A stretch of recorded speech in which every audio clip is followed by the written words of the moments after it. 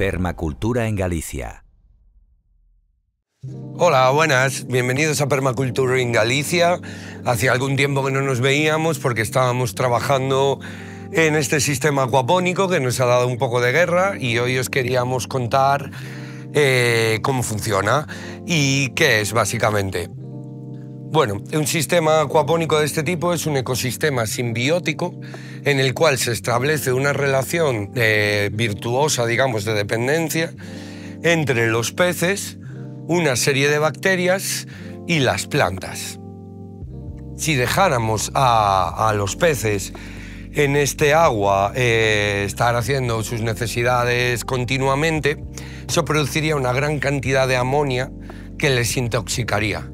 Sin embargo, si asociamos a los peces y establecemos colonias de bacterias y después bombeamos ese agua a las raíces de nuestras plantas, lo que tenemos es un proceso mediante el cual esas bacterias asentadas en las raíces van a descomponer el amonia en nitritos y en nitratos que las plantas pueden utilizar para crecer y al mismo tiempo esas plantas van a devolver al agua oxígeno, haciendo así que los peces puedan seguir viviendo en el mismo agua y que podamos tener un, ecosistema circular que ahorra en el crecimiento de comida hasta un 80% de agua frente a un cultivo tradicional industrial, de agricultura industrial en tierra.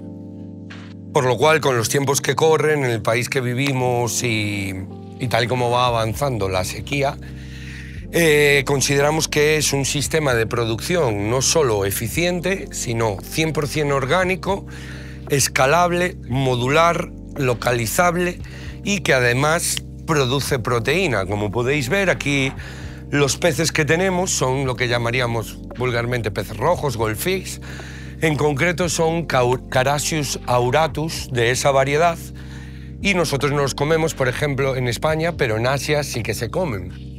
Eh, sin embargo, este sistema es un sistema más que nada demostrativo y educativo, porque si fuera un sistema productivo, si nuestro objetivo fuera producir, nosotros podríamos con este volumen de agua producir 10 veces esta cantidad de plantas que podéis ver todo alrededor. Hay otro factor muy importante frente a la hidroponía de este tipo de sistemas.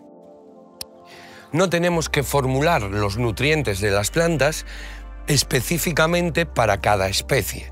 Es decir, si yo tengo un cultivo hidropónico, tengo que formular mi nutrición para una lechuga o una espinaca de una manera muy similar, porque son lo que se dice en inglés light feeders, pero si tengo un tomate o un pimiento, tengo que formular eh, mi potasio, mi magnesio de otra manera si quiero flores que me lleven a frutos, por lo cual esos sistemas serían específicos de una o dos variedades si es que son muy compatibles. Sin embargo, lo que podemos observar aquí a simple vista es que tenemos un policultivo. En la parte de arriba tenemos fresas ya fructificadas, hay pepinos, hay judías, hay tomates cherries, hay tres o cuatro tipos de mentas, varios tipos de lechugas, hay acelgas, hay espinacas, hay otro tipo más de judías, en fin, tenemos eh, un policultivo y todas las plantas pueden alimentarse de él. Aquí podríamos también plantar un árbol frutal, simplemente tendríamos que jugar con la cantidad de desechos orgánicos que producen nuestros peces para tener una fertilización adecuada para los cultivos que nos estamos comiendo. También nos gustaría resaltar que este es, digamos, el modelo recién construido básico al que en los próximos meses añadiremos un eh, módulo de producción de algas que serán la comida de los peces, que en este momento el único input de este sistema es la alimentación de nuestros peces. Es lo que produce todo el ciclo. Vamos a quitar ese input externo que de momento es comida comprada cuando continuemos con la construcción de este sistema y lo que vamos a hacer es que vamos a introducir unas pequeñas balsas flotantes que van a criar un alga que es 80% proteína. Ese mismo alga, a pesar de ser crecida con, con los mismos nitritos y nitratos del agua, nuestros peces no van a tener acceso más que cuando nosotros los alimentemos. Por lo cual estaremos teniendo un sistema de input cero, donde eliminamos el único input externo, que es la alimentación, y lo producen los excedentes del propio sistema. Otro módulo que añadiremos también en el futuro será un módulo de lombrices en la parte de inundación y drenaje que ahora vamos a explicar, se acumulan residuos sólidos que podemos gestionar mediante el uso de lombrices parecidas a las que se usan en los vermicomposteros. Estas lombrices al criar pueden producir una comida de una excelente calidad biológica para nuestros peces, lo que se traducirá en una nutrición genial para nuestras plantas. Más orgánico es difícil. También añadiremos en el futuro un módulo de crustáceos comestibles para poder tener eh, un, en, este espacio que estáis viendo, hay un coworking al lado en el que se van a utilizar todos los, los elementos alimentarios que obtengamos del sistema, tanto para infusiones como para cócteles, como para cocina pura y dura.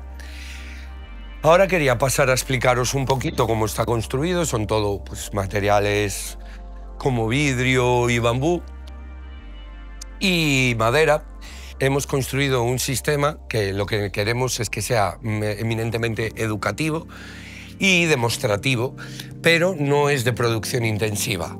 Por lo cual hemos tratado de ejemplificar las tres técnicas básicas hidropónicas que se asocian a este tipo de cultivos para demostrar eh, las distintas capacidades de crecimiento de plantas en relación a la masa vegetal que desarrolle la planta. Obviamente no es lo mismo crecer un tomate de un, cuya planta mide un metro veinte y tiene frutos que pesan, no sé, 150 o 300 gramos, que crecer una lechuga.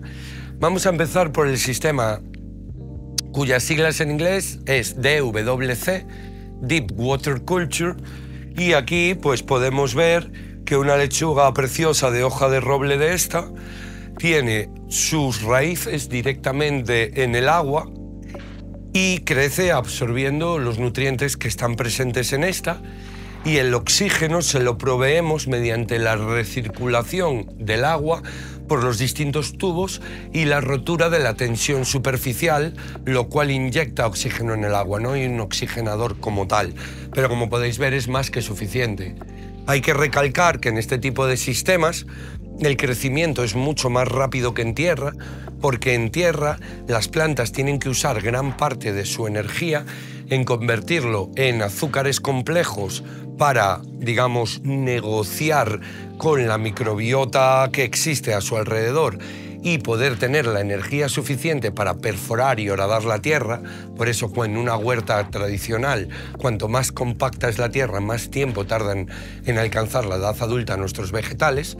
Y es una resistencia que, como podéis observar, no existe en estos sistemas, lo cual acelera considerablemente la velocidad de crecimiento.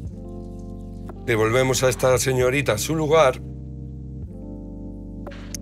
y luego esto sería una pequeña ejemplificación de un sistema de, que en inglés se, dice ebb and flow, es decir, un sistema de inundación y drenaje por el cual hay ciertos, hay, hay un medio eh, inorgánico, como podéis ver, que constituye eh, el sustrato donde plantamos nuestras plantas, pero no aporta nutrientes, ni siquiera minerales, sino simplemente estructura para las raíces y los tallos. Entonces inundamos periódicamente esta cama que a la vez se drena por un sistema de sifón, volviendo a acabar el acuario y ayudando a la recirculación del agua. En esta parte plantamos nuestras solanáceas porque tienen una mayor estructura y profundidad para poder aguantar sus tallos y sus frutos. Como veis aquí tenemos cherries, tenemos pimientos, tenemos judías, tenemos pepinos. La tercera parte sería la parte de NFT o Nutrient Film Technique en inglés, que lo que quiere decir es que tenemos esta serie de tubos de bambú que han sido tallados a mano, eh, cuyas membranas han sido quitadas con, con martillo y cincel y después impermeabilizados de manera alimentaria, obviamente. Y justo por la parte de abajo corre una pequeña película de agua de a lo mejor dos o tres centímetros de profundidad de manera constante con la que las plantas, como, podéis, como os voy a demostrar ahora, se relacionan dándonos el oxígeno, el espacio de aire existente entre las raíces, como podéis ver, de, en esta menta, entre las raíces y el agua. Por lo cual los nutrientes siempre están disponibles y la oxigenación es, digamos, inmejorable. Los distintos sistemas o técnicas de hidroponía nos ayudan a crecer distintas variedades. Otro tema a resaltar es una vez más en este tipo de sistemas es que son, como os hemos dicho, un policultivo. Yo puedo plantar una papaya ahora mismo si tuviera la estructura, un sistema de inundación suficientemente grande para aguantar un árbol de papaya y crecería perfectamente aquí. Ahorrando el 80% de agua, sin pesticidas, sin químicos, sin fertilizantes externos y dándole una vida digna a los peces que pueblan nuestro sistema. En, los sistemas acuapónicos de producción intensiva, lo que tenemos son eh, peces que son comestibles. Puede ser tilapia, pueden ser otro tipo de pez gato o otro tipo de peces, dependiendo de la región donde se utilice esta técnica. esto nos va a aportar también una fuente de proteína que podemos producir con mucho menos volumen en otras partes de, nuestro sistema.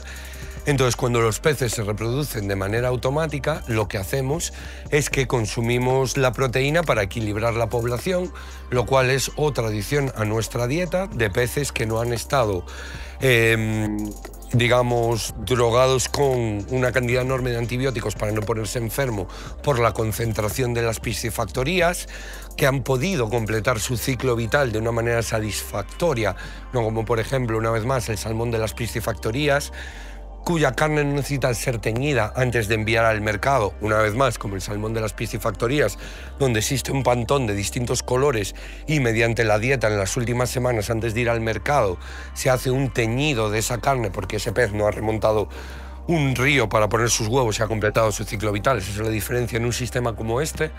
Respeta mucho más a todas las partes implicadas, que en este caso, como os decía, son básicamente bacterias, peces y plantas.